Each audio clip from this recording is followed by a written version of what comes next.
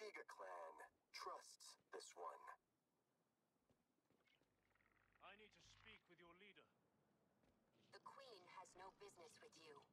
Oh, but she does, since the Empire is funding her operation. And she needs a reminder of the arrangement we have. We will pass on a message. Tell the Queen the factory is falling behind on the quotas we agreed to. You aren't producing quickly enough. If she wants to stay on the Empire's good side, she will rectify this.